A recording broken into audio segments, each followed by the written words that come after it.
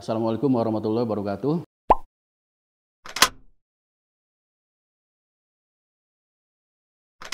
Waalaikumsalam warahmatullahi wabarakatuh. Oke, ini dengan apa novel ya, kemudian novel. Ada Arisa. Dengan Klarinda ya.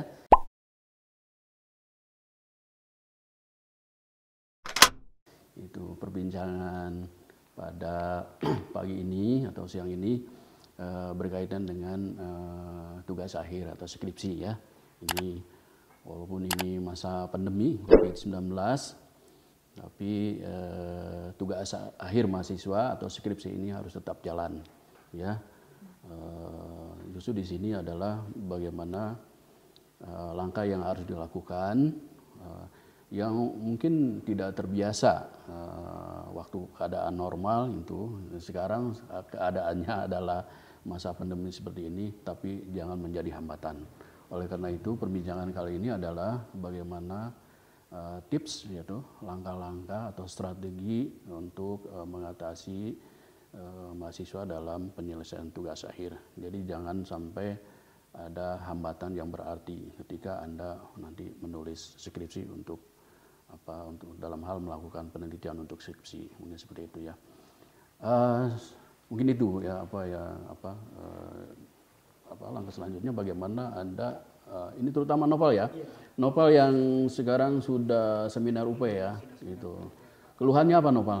Paling gini pak. Kalau keluhan dari novel sendiri terhadap pandemi ini apa masa pandemi ini paling di data pak sama bimbingan. Ya. jadi data yang harus didapatkan biasanya data primer ya pak otomatis dapat apa? data primer. Oh ya iya data primer di mana sekarang kesulitan mencari Ya, data primer. Ya, dan benar. sekunder pun eh, mungkin sulit juga mungkin ya untuk didapati gitu. Jadi bagaimana sih pak tips untuk kita menyelesaikan akhir eh, skripsi, skripsi ini untuk ya dengan data seadanya gitu dengan data-data yang eh, disiapkan dari perusahaannya masing-masing gitu Oke, oke. Memang pada umumnya eh, keluhan mahasiswa atau kesulitan mahasiswa eh, ketika untuk bisa mendapatkan data primer itu. Data primer itu data yang diperoleh oleh peneliti dengan apa, eh, terjun langsung ke lapangan untuk mendapatkan data dari tangan pertama seperti itu. Sedangkan kalau data sekunder adalah data yang sudah ada data yang kita harus cari data yang sudah ada. Baik itu data yang sudah jadi maupun data yang masih mentah istilahnya yang harus diolah lagi gitu ya. Umumnya kalau data yang sudah jadi itu berupa apa Excel gitu ya. Nah itu. Nah bagaimana Nopal eh, mengalami eh, hambatan seperti itu? Caranya adalah kalau Nopal ingin tetap mendapatkan data primer itu caranya adalah ini masa pandemi ini Anda kalau mau melakukan dengan FGD, fokus group discussion itu mengumpulkan orang berarti berkerumun itu tidak boleh juga, tidak dianjurkan. Kemudian kalau dengan menyebarkan angket langsung datang ke lapangan gitu ya, menemui responden satu persatu itu juga tidak dianjurkan atau tidak boleh. Kemudian juga apa namanya eh, wawancara misalnya, wawancara tatap muka ya face to face itu juga tidak boleh. Nah, bagaimana caranya? Yaitu uh, supaya tidak bertemu langsung dengan informan kalau dalam penelitian kualitatif atau responden dalam penelitian kuantitatif.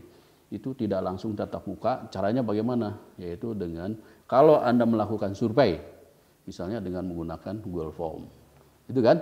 Google Form. Itu ya. Kalau Anda ingin wawancara menggunakan apa? Medianya atau alatnya dengan video conference, video call, atau dengan chatting. Itu kan tidak berhadapan langsung. Jadi ada media yang bisa digunakan supaya kita tidak berhadapan langsung tatap muka dengan informan maupun responden. Seperti itu ya. Ini. Atau juga menggunakan data sekunder, yaitu data yang sudah ada. Kemudian Anda analisis, makanya disebut dengan penelitian data sekunder atau analisis data sekunder.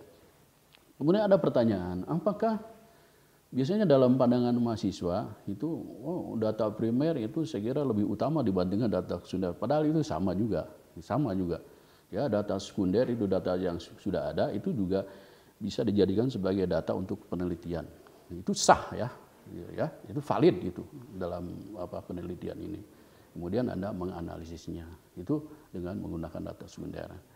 Nah, sekarang pertanyaan dari saya untuk Nopal, apakah apakah masih tetap dengan menggunakan data primer penelitian Anda ini apakah menggunakan dengan data sekunder? Eh, dari novel sendiri sih kalau dengar dari bapak ya data primer bisa menggunakan Google Form dan lain-lain Ya. Eh, sepertinya sih eh, novel sendiri masih bakal nyobain pakai data primer pak dengan menggunakan Google Form Google itu. Form, ya. ya apa eh, itu kan kemajuan teknologi juga ya pak Betul. iya jadi eh, nanti juga novel bakal sebar Google Form aja gitu kan ya pak lebih lebih mudah juga Ya. tidak, tidak apa tebar kertas istilahnya Pak, ya, Pak. Ya. iya gitu Kosong. paling itu sih yang bakal nanti digunakan sama Noval untuk tetap data primer tapi menggunakan Google Form Pak. Ya. Tapi itu respondennya ada dari misalnya populasi berapa, kemudian Anda ambil sampelnya berapa, gitu ya. Misalnya dengan, dengan menggunakan simple random sampling misalnya, itu berapa sampel yang akan diambil, nah itu ya satu persatu harus ada alamat apa harus ada nomor kontaknya, itu kan? Supaya supaya apa media yang digunakan oleh responden, nah itu misalnya HP ataupun laptop itu eh, Anda bisa eh, satu persatu bisa mengenali. Bagaimana itu? Eh, paling gini Pak dengan Google Form itu kan nanti eh, dengan sampelnya Pak sampelnya saya meminta untuk eh, objeknya untuk bisa mengumpulkan langsung Pak. Jadi eh, dengan apa objeknya langsung orangnya langsung sudah terpilih dari perusahaan itu sendiri Pak. Ya. Jadi data-datanya nanti eh, tukar aja gitu. Saya Google Formnya balik ke apa ngasih Google Form ke perusahaannya, perusahaan ngasih data ke saya tentang orang-orangnya gitu Pak. Ya, Kayak nomornya, namanya dan lain-lainnya gitu Pak. Jadi eh, memudahkan saya juga dan perusahaan gitu Pak. ya, Lalu juga di Google Form juga kan bisa ya apa ada form nama dan lain-lain Oh, iya, bisa. iya, gitu. benar. ya, ya. Tapi kalau ini secara metodologis ya, kalau caranya seperti itu, Anda tidak menggunakan random. Ini maaf ini ya, secara metodologis tidak menggunakan random. Kalau Anda penelitiannya kuantitatif, harusnya menggunakan random sampling. Random sampling itu istilah Inggris. Random random sampling, non random sampling itu istilah Inggris. Kalau istilah Amerikanya probability dan non probability itu istilah Amerika. Itu sama. Jadi kalau random atau probability adalah eh, setiap anggota sampel memiliki kesempatan yang sama. Setiap anggota populasi memiliki kesempatan yang sama untuk dijadikan sebagai sampel seperti itu. Maaf, kalau kalau seperti itu itu bukan random karena sudah dipilih-pilih, sudah dipilih-pilih oleh pihak perusahaan. Oh, Anda nanti orang-orangnya saya pilih ya, si A, si B, si C ya, gitu ya, dipilih. Nah, itu eh, apa namanya? Itu masuk ke dalam non random. Kalau itu penelitiannya kualitatif karena sudah dipilih-pilih. Kan yang lain tidak memiliki kesempatan yang sama untuk dipilih. Itu yang non random atau non probability seperti itu. Harusnya bagaimana? Harusnya eh, dari sekian populasi itu ya orangnya itu dari A sampai eh, apa eh, berapa orang gitu seperti itu ya itu dengan cara undian simple random sampling. Misalkan katakanlah ada 200 sampel, eh 200 populasi, 200 anggota populasi. Sebetulnya kalau orang statistik bukan bukan jumlah populasi, tapi ukuran populasi. Kalau kalau dulu saya kuliah kuliah S2 itu populasinya tetap satu, sampelnya tetap satu. Yang yang banyak itu adalah ukuran populasi atau ukuran sampel. Tapi dalam bahasa awam disebutnya jumlah, disebutnya jumlah, gitu ya. Padahal itu ukuran populasi dalam bahasa statistik, gitu ya. Jadi kalau yang yang yang betul itu, misalnya 200 populasi, 200 populasi, Anda ambil eh, berapa? Eh, 50 persen misalnya, 50 persen jadi 100 ya, 100 sampel. Nah, dari 200 anggota populasi ini di, diambillah dengan cara simple random sampling menjadi 100 ya 100 dengan cara undian dengan cara undian seperti arisan seperti itu dikocok. Dikocok. Tapi da- dari 200 itu dikocok ambil 100 sampel. Nah, itu dengan cara undian. Tapi kalau ukuran populasinya besar itu dengan cara tabel random. Misalnya di buku-buku statistik kan ada dengan cara tabel random. Ya, nah kalau kalau populasinya terbatas gunakan dengan simple random sampling dengan cara undian. Kan banyak, kan banyak eh, teknik penarikan sampel yang random sampling itu banyak. Ada simple random sampling, ada stratified random sampling, ada cluster random sampling, gitu kan, ada area random sampling, gitu. Misalnya Anda meneliti di rumah sakit, ya pelayanan kesehatan di rumah sakit, itu bisa dengan menggunakan cara atau teknik penarikan sampel dengan cluster, dengan kelompok, ya kelompok THT berapa pasien yang mau diambil, kelompok eh, penyakit dalam berapa yang mau diambil, kelompok penyakit anak berapa yang diambil dan seterusnya. Itu cluster. Itu cluster. Ya. Kalau Anda tadi menggunakan dengan simple random sampling eh, dengan cara undian seperti tadi. Itu ya. Eh, untuk Nopal, eh, kesulitan apa lagi yang selama ini dialami oleh Nopal dalam penyusunan skripsi ya? Kesulitan selain data sih bimbingan paling Pak, bimbingan dengan dosen kan sekarang terhambat dengan kemarin ada PSBB eh, yang di mana kan nggak boleh tatap muka secara langsung gitu kan. Dosen pun rumahnya jauh-jauh gitu ya, Ya. Pak. ya. Apalagi ada yang sulit dihubungi. Nah, itu gimana sih Pak lagi supaya kita tuh eh, bisa maksimal juga dalam bimbingan gitu. Gampang sekali ya begitu nggak jadi hambatan ya. Itu kan sekarang zamannya teknologi. Iya. Eh, Sekarang musimnya Zoom meeting ya. Oh iya, Pak. Google Google Meet gitu ya. Nah, ini bisa di atas. Seperti pengalaman saya. Saya seminggu dua kali itu membimbing mahasiswa. Ada lima, ada enam mahasiswa yang saya bimbing melalui Zoom meeting. Yang gratisan aja, yang gratisan. Iya, Pak. Ya kan? gratisan. Iya, bisa. 40 menit gitu ya. Iya. Pak, ini dua menit lagi mau berakhir. Silahkan siap Zoom Oh, meeting iya. selanjutnya. Di, di grup itu sudah disiapkan. Pak, silahkan klik ini yang yang apa yang lanjutannya Iya. gitu ya. Yang lanjutan. Saya layani. Walaupun nanti agak agak lama juga Eh, apa kita apa eh, akses lagi ke eh, Zoom meeting yang selanjutnya begitu ya. Begitu juga mahasiswa ya gabung lagi, mulai lagi gitu ya bimbingan gitu ya. Iya. Bimbingan apa untuk mahasiswa itu. Satu persatu saya. Satu persatu, Satu persatu. Oke, si A misalnya, silakan ya langsung ditampilkan. Ya, screennya ditampilkan satu persatu. Ya, saya sampai jam 10 malam itu saya layani itu ya. Jadi habis Isya itu saya layani. Termasuk juga saya membimbing untuk penelitian kualitatif kesejahteraan sosial untuk mahasiswa UIN. Saya layani malam-malam itu satu persatu, satu persatu itu ya. Ya, supaya efektif waktunya coba dari tujuh mahasiswa UIN itu tolong dibuatkan videonya. Iya, presentasi tapi dibuat videonya. Kemudian kirim ke saya.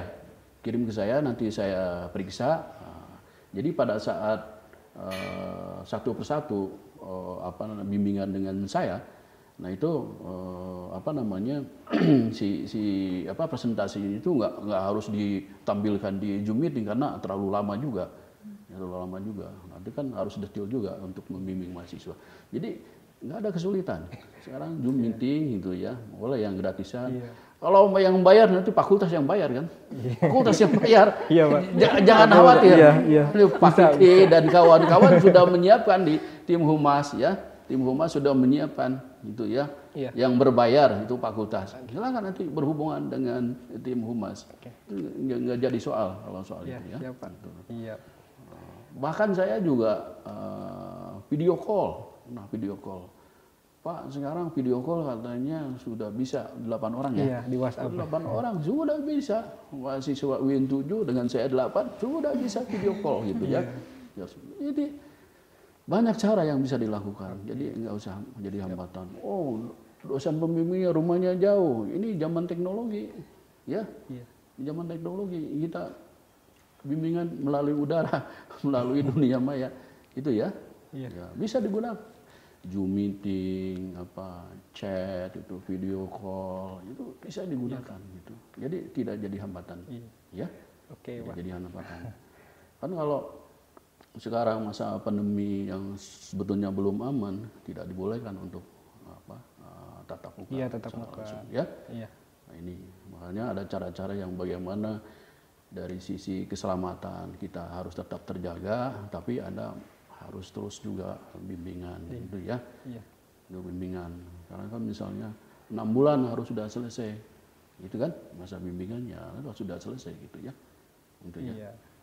Ya sih paling itu aja sih Pak dari kalau dari saya yang sudah UP gitu kan karena bab 4 kan membahas tentang penelitian dan pembahasan gitu kan Ya. ya.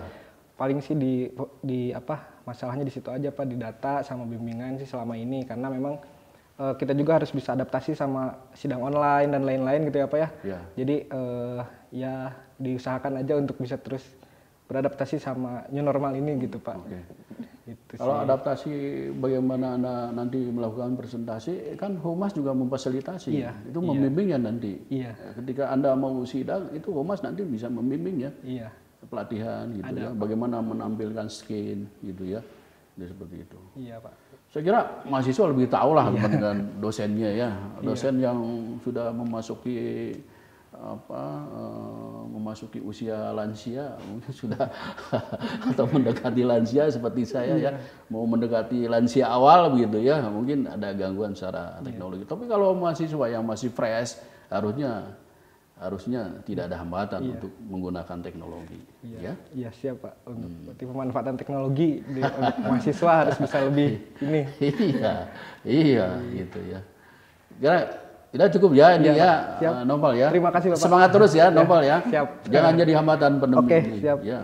Besok Pandemi ini membuat orang berpikir, ya, dan menyentuh semua aspek kehidupan Iya, manusia secara ekonomi, sosial budaya, Iya. politik, hukum, psikologis, ilmu pengetahuan, teknologi, ini semua. Iya, Semua orang harus berpikir gitu ya, Iya. gitu ya.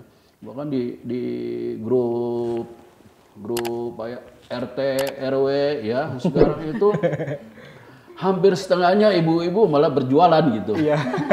berjualan gitu ya. Orang mikir gitu ya, Iya. orang mikir gitu. Iya. Nah itu, gitu. Oh ini semuanya hampir berjualan, ya tidak apa-apa. Jualan online. Ya jualan online gitu ya. Iya. Nah sekarang Risa ini, Risa mau persiapan eh, skripsi ini. Bagaimana ini persiapan yang selama ini sudah dilakukan seperti apa? Untuk saat ini saya sendiri eh, masih menyusun ini Pak judulnya. Ya, Iya. Eh, rencana saya akan mengambil tentang garis besarnya tentang interaksi sosial itu Pak. interaksi sosial. Iya, interaksi sosial eh, khususnya di masa pandemi ini terhadap mahasiswa mahasiswa Ya, kayak gitu Pak. Nah tapi di sini juga saya masih bingung Pak.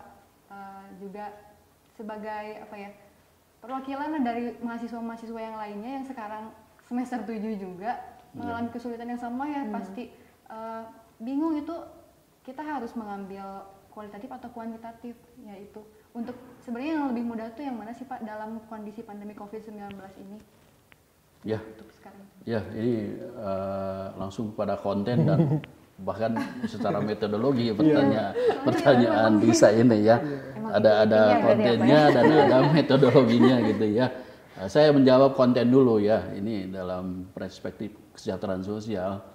Kalau Risa mau mengambil apa judul atau topik terkait dengan interaksi sosial, itu sebetulnya interaksi sosial itu ini bicara konten dulu ya, itu bagian bagian dari eh, pekerjaan sosial.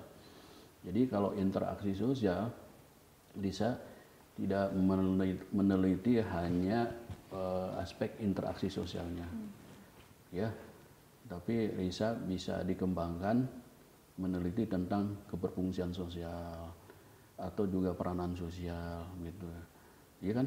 Jadi kalau interaksi sosial ini adalah salah satu bagian penting yang harus diteliti gitu.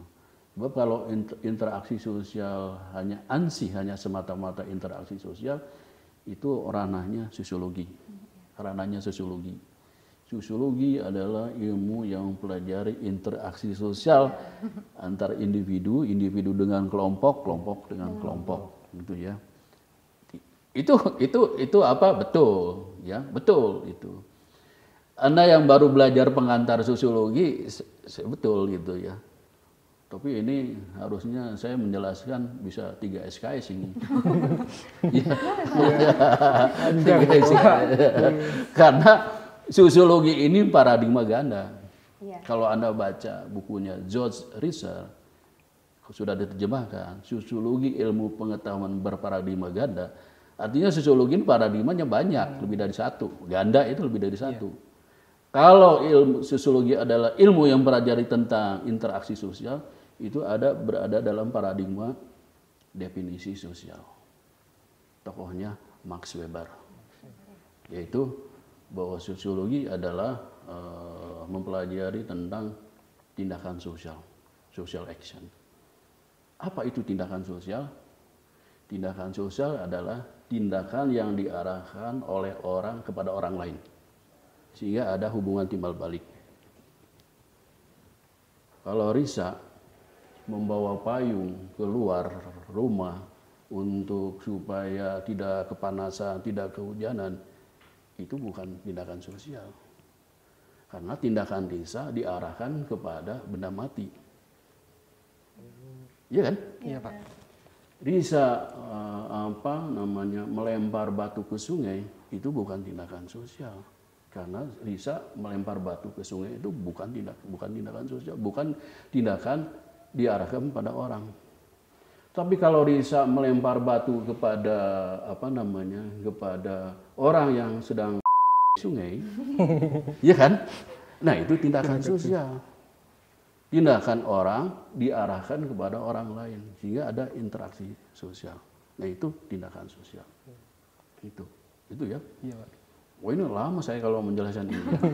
itu paradigma definisi sosial. Max Weber metodenya, metodenya, eh, teorinya adalah interaksionisme simbolik, kemudian fenomenologi. Gitu ya. Ada lagi paradigma fakta sosial bahwa sosiologi adalah ilmu yang pelajari ten- tentang fakta sosial.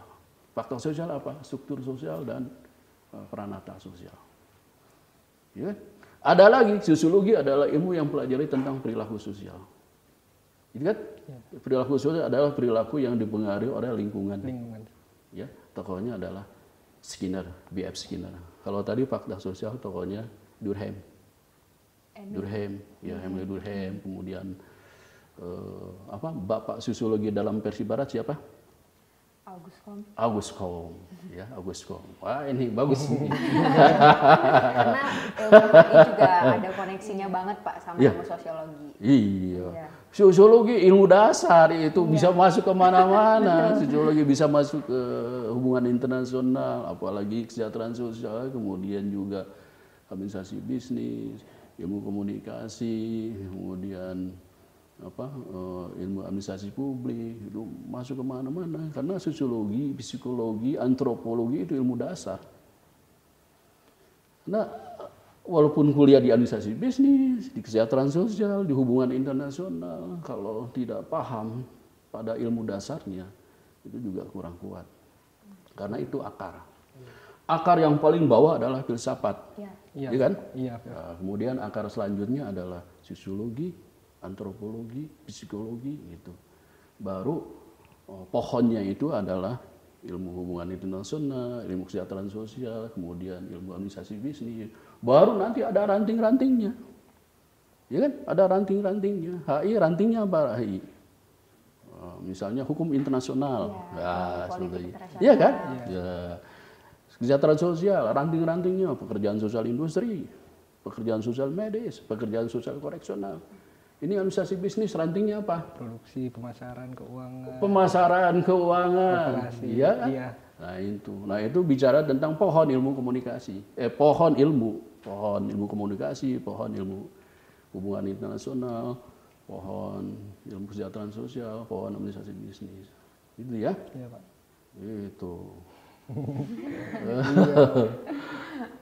itu ya, itu.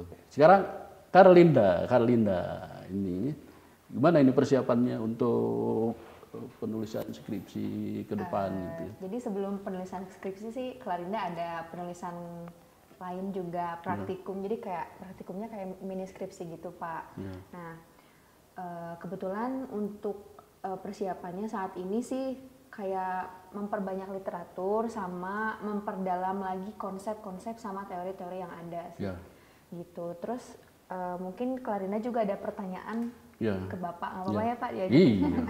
Boleh Eh, saja. gini kan untuk terkait fenomena HI sendiri kan banyak banget ya Pak apalagi eh, di pandemi COVID-19 ini tuh banyak banget fenomena-fenomena yang terjadi kayak contohnya Amerika Serikat mau keluar dari WHO terus kemarin juga ada peristiwa tentang korut korsel yang eh, ada masalah lagi yang Ya. menghancurkan kantor perhubungan ya, di Ya. Korea Utara Ya. Seperti itu jadi eh, selain dinamika atau isu-isu yang eh, terjadi sebelum pandemi, setelah pandemi atau eh, saat pandemi, pandemi pun banyak sekali eh, fenomena internasional yang terjadi, Pak. Ya. Nah, untuk itu eh, Clarina masih agak tricky dan blunder gitu untuk memilih mana nih topik pembahasan yang memang bisa dibahas karena kalau eh, bagi Clarita pribadi mungkin bagi teman-teman hubungan internasional yang lain juga kalau membahas pandemi ini masih belum selesai ya masalahnya Ya. karena ini kita nggak tahu pandemi sampai kapan beresnya gitu Ya. akan sulit untuk membahas topik pandemi COVID-19 itu sendiri. Ya. Nah, mungkin uh, Clarina akan bertanya ke Bapak uh, bagaimana cara mencari atau menetapkan topik pembahasan yang uh, bisa dikaji secara dalam dan spesifik, tapi fenomena itu nggak sedang berlangsung atau memang kayak ya udah selesai tapi masih bisa kita kaji lebih Ya. dalam lagi, lebih spesifik lagi seperti itu sih Pak. Ya. Kurang lebih. Ya, ini memang memang fenomena internasional juga ini sangat mengemuka ya eh, pada masa pandemi maupun eh, pasca pandemi ya. Misalnya bagaimana eh, apa konflik antara Amerika Serikat dengan WHO misalnya Donald Trump kan sudah menghentikan bantuan untuk WHO padahal Amerika Serikat adalah uh, penyumbang dana Penyumbang terbesar terbesar, di dunia juga ini. Sekarang sudah di stop gitu karena dinilai ada persekong- persekongkolan antara WHO dengan Cina seperti itu ya dalam konteks COVID ini. Ya, sebetulnya banyak dibahas. Jadi Anda uh, harus banyak mempelajari literatur. Sekarang kan saya banyak mendapatkan apa uh, apa uh, link ya, link laman untuk bisa mengakses uh, peristiwa COVID dalam konteks hubungan internasional juga banyak yang gratis. Saya di grup WA itu banyak yang uh, men-share ini apa uh, yang bisa diakses untuk mengkaji literatur dari jurnal-jurnal ya, dari e-book. Nah, itu yang terkait dengan dengan uh, COVID-19. Bahkan UGM ini sudah sudah di awal sudah apa namanya membuat buku, membuat buku. Nanti boleh saya share ya. Buku untuk COVID, buku untuk COVID itu yang sudah di di apa dipublish oleh UGM. Kemudian UI juga mau, mau, mau apa namanya? Bahkan sudah UI juga. Nanti bisa saya share ya terkait dengan COVID ini. Jadi dari buku-buku yang sudah dikeluarkan oleh apa perguruan tinggi di Indonesia atau juga saya kira uh, uh, apa namanya dari jurnal-jurnal itu untuk bisa mempelajari kira-kira apa ya yang yang sesuai untuk diteliti. Temanya apa ya untuk yang sesuai untuk diteliti dalam masa maupun pasca COVID ini. Ya, saya kira banyak ya. Misalnya juga WHO tadi ya, konteksnya dengan SDGs misalnya. Itu juga pilih salah satu oh, apa namanya salah satu komponen ya Nah, atau istilahnya apa ya indikator atau apa ya salah satu indikator indikator apa namanya dari SDGs ini. SDGs iya kan? saya kira banyak mungkin KS SDGs ini juga banyak saya kira ya SDGs ini ya. Karena ada perubahan dari MDGs ke SDGs gitu ya. Nah ini saya kira intinya nah kalau SDGs jadi anda juga apa namanya banyak mempelajari dari apa jurnal-jurnal atau laporan-laporan dari WHO kan situ apa namanya laman resminya dari WHO kan. Tinggal anda pelajari saja. Konteksnya dengan SDGs anda pelajari lebih lanjut ya satu aspek saja satu indikator saja kalau dalam ini anda concernnya di bidang apa gitu ya Iya. masa covid ini ya. misalnya eh, terkait dengan apa namanya eh, pemenuhan kebutuhan makanan misalnya seperti itu. Bahkan juga persampahan juga ada kan, persampahan gitu ya. Pilih saja dari berbagai indikator yang ada di SDGs ini seperti itu. Ya, itu. Juga SDGs itu saya pernah menyampaikan waktu itu di, di UI ya, menyampaikan tentang apa pencapaian SDGs ini. Nah ini SDGs ini dengan adanya COVID ini juga terganggu, apalagi di negara-negara berkembang. Nah itu kan bisa menganalisis menganalisis pencapaian target tentang apa yang Anda concern? Tentang apa dari indikator SDGs ini? Misalnya apa? Hmm, kalau Clarina sih enggak ke SDG sih, pakainya Apa? lebih ke security. Eh, security ya, Iya, keamanan ya, iya keamanan. keamanan internasional atau apa? Iya. Keamanannya internasional. Oke ya. Pernah juga buku-buku saya juga buku-buku saya yang kekerasan terhadap anak juga mahasiswa ini ya, ka- kalau mengkaji tentang child trafficking ya itu juga Iya, itu ada ya. Iya, child trafficking atau apa.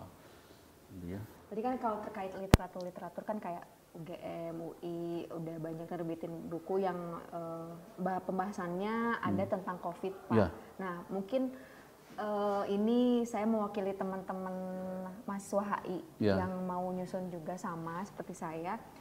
Eh, saya pernah ini sih ngobrol sama kakak tingkat saya yang udah lulus Iya. kemarin. Beliau juga sidang online kebetulan. Jadi Iya. eh, pas mau sidang terhambat PSBB jadi nggak bisa akhirnya Iya. sidang online. Iya. Nah eh, pas eh, masa penulisannya, ketika proses penulisannya, beliau tuh sampai mencari keyword untuk mencari sumber Ya.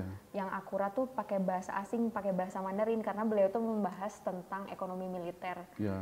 antara eh, AS sama Cina. Ya. Nah, karena sulit mendapatkan data yang akurat dengan keyword bahasa kita sendiri, Ya. jadi beliau sampai pakai eh, keyword yang bahasa Mandarin Ya, demi ya. mendapatkan data itu. Gitu. Ya. Mungkin eh, ada tips dari bapak nggak untuk pencarian data yang akurat, terus referensi apa aja sih yang harus kita milikin ketika eh, apa ya kita proses berjalannya untuk menyusun skripsi itu sendiri gitu. Jadi supaya dalam penyusunannya juga komprehensif ya Pak Ya. dan itu terbukti gitu kan kadang suka ada eh, berita atau misalnya data-data yang memang diragukan gitu Ya. si eh, kebenarannya. Betul. gitu. Betul, jadi memang harus dari la- laman resmi ya. Iya. Jadi Anda hindari seperti dari apa? eh, Wikipedia ya Pak.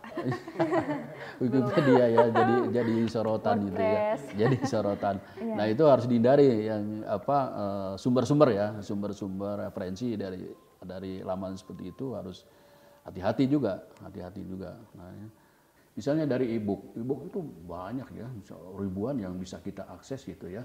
Eh, itu misalnya melalui eh, libgen.org. Iya, Libgen. itu sudah sudah pernah.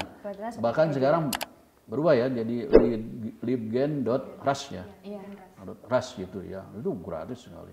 Ah, Anda kan tinggal mengetik kata kuncinya itu sudah keluar ini berapa judul buku yang keluar itu ya. Di antaranya itu dan itu gratis gitu ya. Tapi itu ya bahasa bahasa Inggris semua itu ya. Nggak ada bahasa Sunda, bahasa Indonesia itu ya. Itu ya.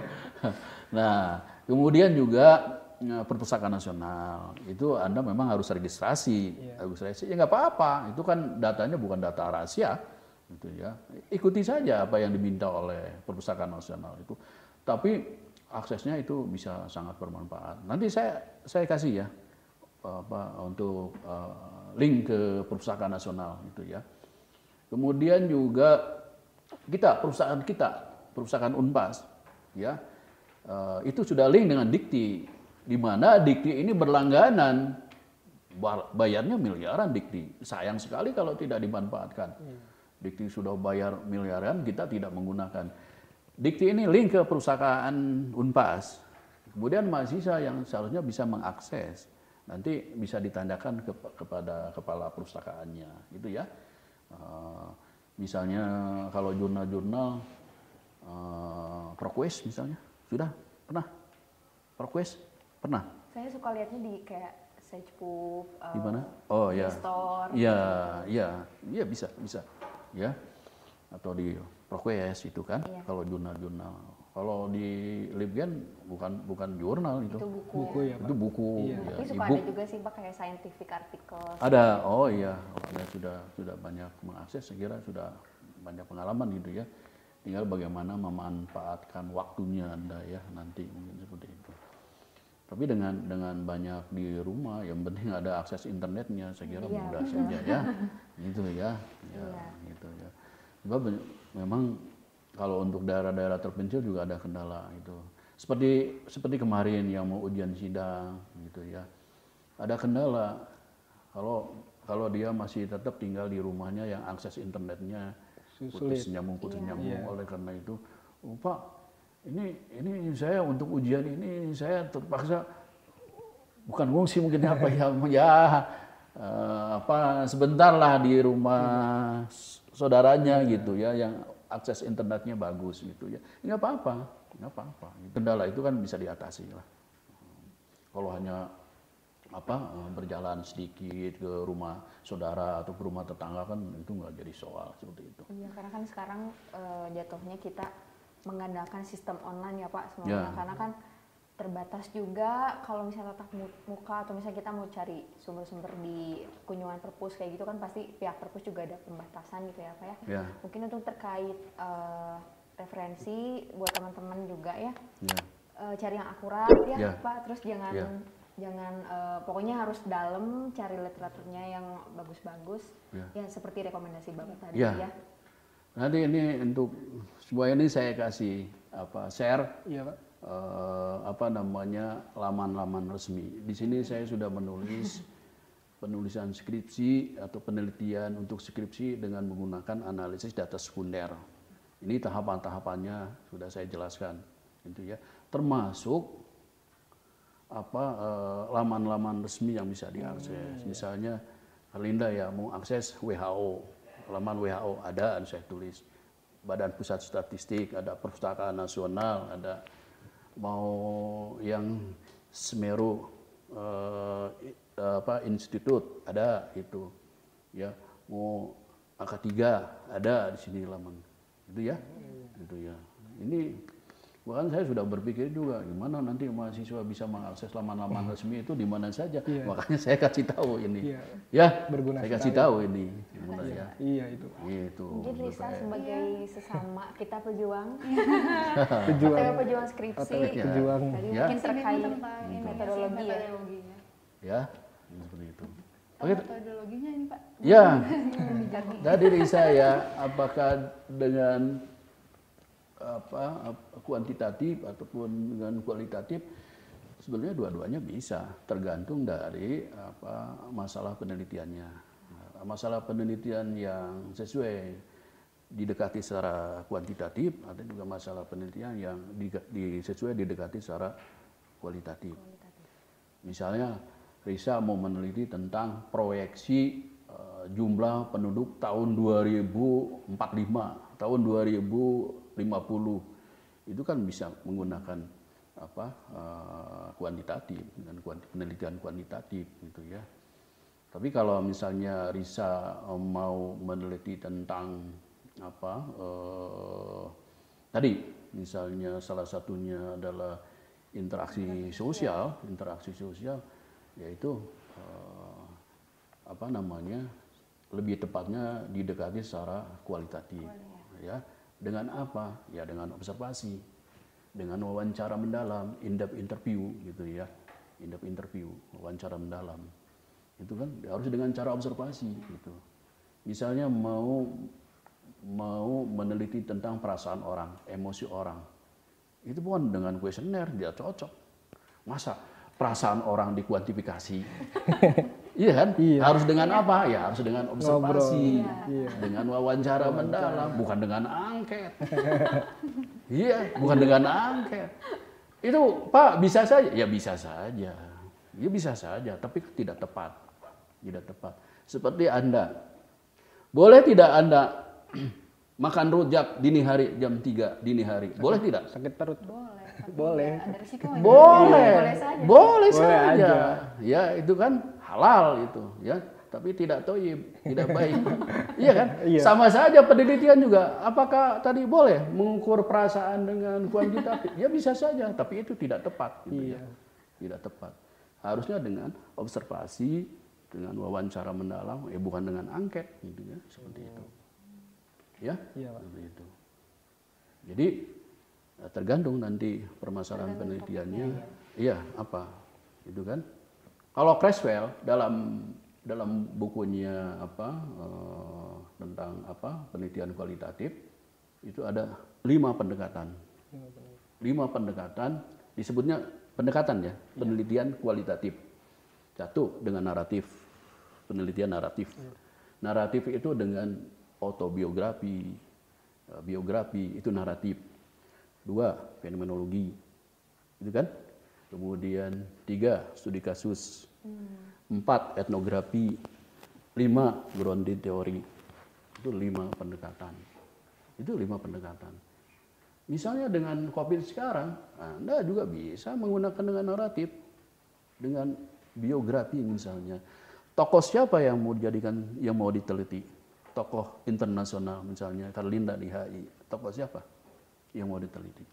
Misalnya keamanan internasional ya, eh, ini sih Pak, kepikiran membahas Anambas, Ya, Pulau Anambas, Pantai Anambas, Ya. yang punya kekayaan sumber daya alam yang cukup kaya sebenarnya. Ya. Cuma memang kayak kurang terekspos ya. Kita taunya eh, di Papua kayak Freeport gitu-gitu. Nah Ya. di Anambas pun di eh, dimasuki wilayah asing kalau nggak salah nama perusahaan itu perusahaan minyak kalau nggak salah. ya, ConocoPhillips kalau nggak salah. Ya. Nah, itu sih yang bakal jadi fokus, maksudnya kayak dibahasnya ke situ, ya, lebih ke sumber daya, terus ada keterlibatan eh, investor asing di sana. ya, Jadi eh, keamanannya dibahas dari segi ancaman, eh maksudnya ancamannya tuh dibahas dari segi itu gitu, investasi asing takutnya kan jadinya eksploitasi seperti Freeport atau kayak gini. ya, ya. Kayaknya menarik sih Pak, Wah. tapi ini baru rencana aja. Bagus, itu memang menarik. Saya juga pernah meneliti tentang eh, apa eh, social mapping ya, social mapping atau pemetaan sosial tenaga panas bumi. Itu saya teliti di Palu, kemudian di Lebak, Banten. Gitu. Kemudian tim saya yang lain juga ada yang di Padang, kemudian ada yang di Jawa Tengah, gitu ya. Saya baru tahu bahwa tenaga panas bumi itu sekitar 50% ada di Indonesia. Baru tahu setelah saya bergaul dengan mahasiswa ITB yang lulusan S2 geothermal, ya panas bumi itu saya baru tahu bahwa lima, sekitar 50% tenaga panas bumi itu di seluruh Indonesia ada di Indonesia. Di seluruh dunia itu ada di Indonesia. 50%. 50 persennya. Dan kita baru memanfaatkan sekitar 5 persennya. Bayangkan. persen. begitu kayanya. Dari sisi panas bumi begitu kayanya. Iya. Ya, paling kita bagaimana menggunakan untuk rekreasi misalnya di Cipanas. Ya, seperti itu. Untuk tenaga listrik. Waktu itu saya untuk tenaga listrik. Ya. Hmm, tenaga listrik. Kerja tenaga listrik dari eh, panas bumi. Gitu, makanya makanya apa namanya eh, keterlibatan saya dalam penelitian juga membuka wawasan. Ternyata banyak bidang-bidang yang lain juga apa namanya yang belum kita tahu gitu. Kalau saya dari aspek pemetaan sosialnya, social mapping. Oke. Ya, jadi hasil penelitian ini nanti bisa dibeli, dimanfaatkan oleh investor, ya investor, investor eh, apa namanya yang apa yang bergerak di perusahaan-perusahaan apa eh, untuk tenaga pemanfaatan tenaga panas bumi, gitu, seperti itu. Ya. Mungkin gini Pak, dari tadi kan eh, kita berbicara eh, metodologi, metodologi. Iya. Saya tertarik sama ini sih Pak, tadi metodologi kualitatif ya Pak, karena kan masa pandemi ini eh, kalau kualitatif harus wawancara ya Pak, harus wawancara, autobiografi dan lain-lain mungkin ya. Kan tadi juga Bapak menyebutkan bahwa Bapak udah punya literasi-literasi dan eh, tips-tipsnya untuk analisis data sekunder gitu ya Pak. Ya. Bisa dikasih tahu nggak Pak ke, ke teman-teman yang sedang berjuang skripsi gitu, sedikitnya gitu tentang eh, apa data sekunder ini karena kan biasanya sebelum pandemi banyak yang ngambilnya data primer Pak. Jadi saat data sekunder mungkin ada yang kelabakan nggak tahu caranya bagaimana gitu Pak. Ya. Mungkin ada tips dari Bapak gitu. Ya, Jadi ya memang ini eh, saya presentasi ini juga sekitar hampir satu jam itu ya, Eh, hampir satu jam. Memang harus perlu banyak waktu juga. Jadi kalau saya diundang, untuk menjelaskan ana, apa penelitian analisis data sekunder Iya. itu juga boleh di di luar forum Oh, ini ya. Saya dengan senang hati gitu bisa Iya. berbagi pengalaman ilmu saya. Cuman intinya adalah analisis data sekunder itu adalah anda menganalisis, mendeskripsikan, menganalisis dari data sekunder. Iya. Data sekunder itu data yang sudah ada, dan sudah ada, gitu ya, dimiliki apa kemampuan kemampuan anda menganalisis memang dituntut, begitu ya. Iya. Nah, anda adalah eh, langkah yang pertama adalah mengakses Akses. mengakses dengan apa yang sesuai dengan topik-topik penelitian yang anda uh, apa anda akan anda teliti Iya. gitu seperti itu kemudian anda mempelajarinya Pelajari. kemudian mempelajarinya eh, apa dari dari data sekunder itu kemudian mempelajarinya. Kemudian juga anda dari situ bisa merumuskan eh, judul penelitian ya judul penelitian. Setelah merumuskan judul penelitian anda kan juga perlu data Iya. ya perlu data. Anda akses datanya data yang relevan. Itu juga di situ juga ada reduksi data ada data yang perlu dikurangi gitu ya. Kalau memang tidak diperlukan ya nanti bisa dibuang. Itulah reduksi data. Kan tahapan penelitian dalam kualitatif itu kalau menurut Miles Huberman itu ada pertama reduksi data. Kedua display data, penyajian data, kemudian yang ketiga adalah eh, apa penarikan kesimpulan, verifikasi dan penarikan kesimpulan. Nah, tapi ini men- ini umum, masih umum. Nah, anda perlu juga apa punya kemampuan untuk melakukan coding dan kategori. Jadi coding ini bukan hanya dalam penelitian kuantitatif, coding juga ada dalam penelitian kualitatif, coding dan kategori. E-booknya ada di saya, gitu ya. Dua saja yang bagus itu, Kathy Charmats dan Johnny Saldana. Ada e-booknya, nanti saya share. Oke. Ya, Iya. saya bagi-bagi gitu ya. Tapi kalau ingin detail, boleh saya diundang untuk Siap. Gratis, gratis. Nggak, nggak usah nggak usah mikirin bayaran, gratis gitu Jadi ya. saya kumpulkan mahasiswa. Ya, boleh Iya. gratis gitu ya. Yang Melalui Zoom meeting silahkan. Oke. Ya, Anda uh, jadi hostnya. uh, Boleh, boleh, Pak. biar biar yang lain. Ya, bagaimana sih menganalisis data sekunder? Kalau dijelaskan secara detail. detail Iya. dari awal sampai akhir ini bisa sampai satu Oh, jam. iya.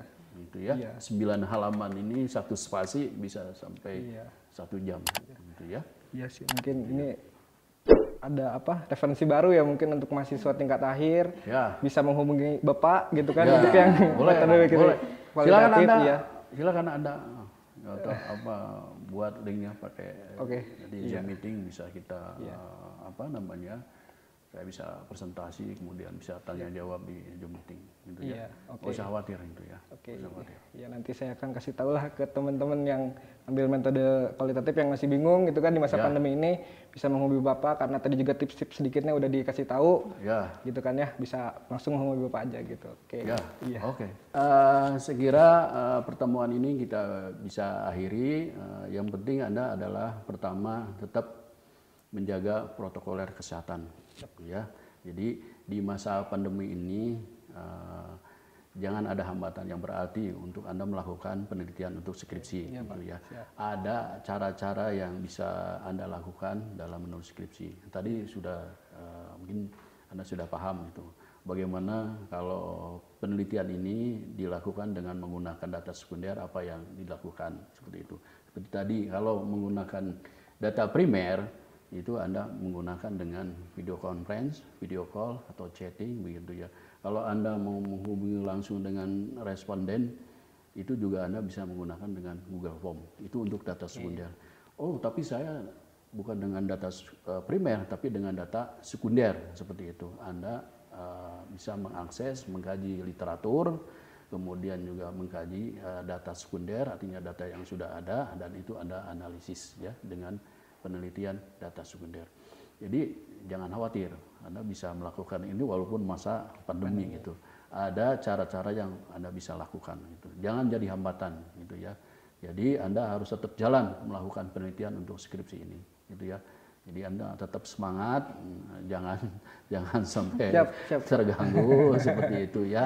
Gitu ya. Iya. Gitu ya. Nah, seperti itu. Oke, eh, mungkin eh, itu yang bisa apa eh, saya sampaikan perbincangan dengan mahasiswa yang eh, sedang menulis skripsi dan yang bersiap-siap untuk menulis skripsi. Iya. ya, mungkin itu saja yang bisa disampaikan.